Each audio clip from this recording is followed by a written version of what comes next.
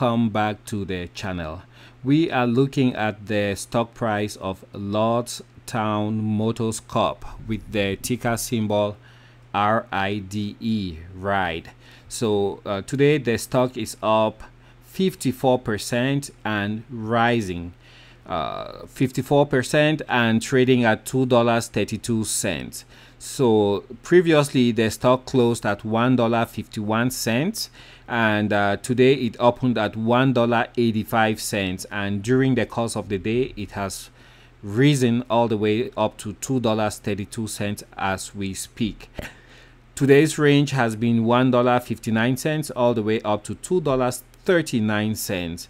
52 week range $1.50 all the way up to $15.80. So we are very close to the uh, bottom end of the 52 week range.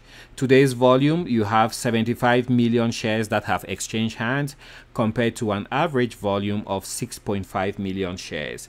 Now the big news about lordstown motors is that um, Fisker has announced that Foxconn will be building its second EV at the Lordstown uh, automobile plant which is in Ohio. And uh, I believe that's the major news that caused uh, the stock price of Lordstown Motors Corporation, to rise 53 to 54% today.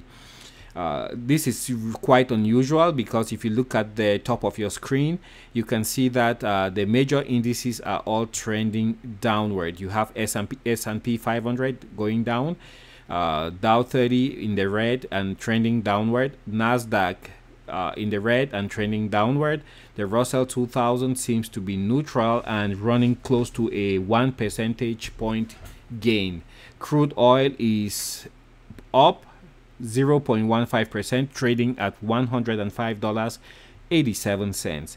So uh, Lordstown Motors Corporation is an automotive company which designs and manufactures light-duty electric trucks targeted for sale to fleet customers.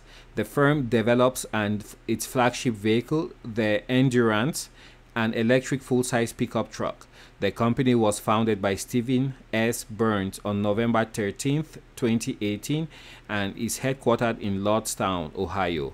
The listed name for RIDE is Lordstown Motors Corporation, Class A common stock. And the company has 632 employees. So that's the story uh, behind the rise of the value of Lordstown Motors Corp in the stock market today.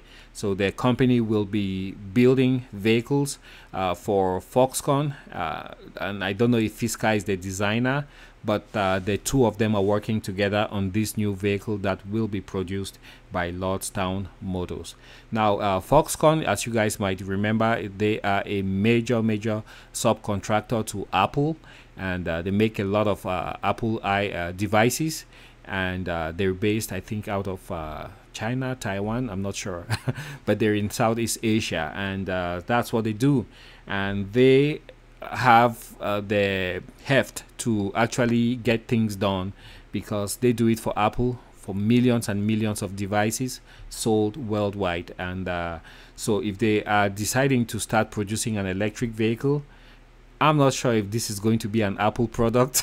But Foxconn is uh, they have one of their major clients as uh, with Apple and we don't know yet what this vehicle is gonna look like uh, how much it's gonna retail for and how far they've gone with uh, the design and uh, the, the, design and production process.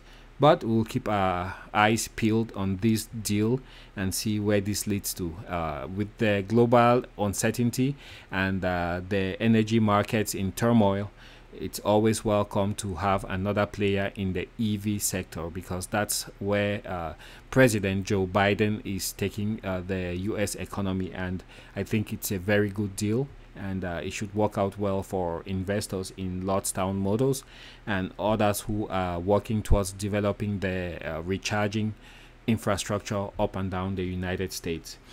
Thanks for joining me. Um, don't forget to hit the thumbs up button below, subscribe to the channel, and I will catch you guys on the next one. Bye.